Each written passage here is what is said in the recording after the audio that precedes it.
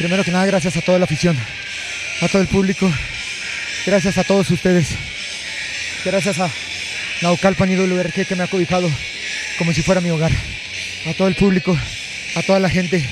Ustedes vieron que desde la primera lucha contra las Parcas salí lastimado y aún así subí a las siguientes batallas. Nunca me esperé llegar a este nivel, a este nivel de, de la lucha, porque fuimos, fuimos ganando y fuimos eliminados, eliminados hasta toparme con Vangelis, que es un hombre muy fuerte. Tú lo viste, es de gran tonelaje, es muy rudo, pero créeme que, que todo esto lo estoy sacando por todos ustedes.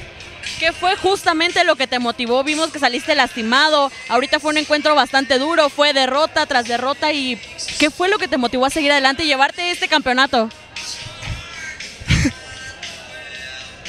Se lo prometí a mi papá, que iba a llegar grande como él. Y este es el primer escalón, es el primer escalón de unos peldaños, de una montaña muy gigante. Tengo que seguir todavía, todavía tengo que seguir y seguir y seguir porque voy a llegar hasta donde tú estás, Padre, hasta el cielo, porque para, ella, para mí el cielo es el límite. Estoy muy contento créeme que yo creí que iba a salir avante desde las primeras luchas. Venía muy tranquilo, incluso salí con todo, salí con las parcas contra todo. Me lastimé desde el primer inicio y cada lucha fue muy agotador para mí, muy, muy agotador. Siento mi cuerpo acalambrado, siento de verdad, ahorita vemos al doctor, pero estamos bien, estamos bien.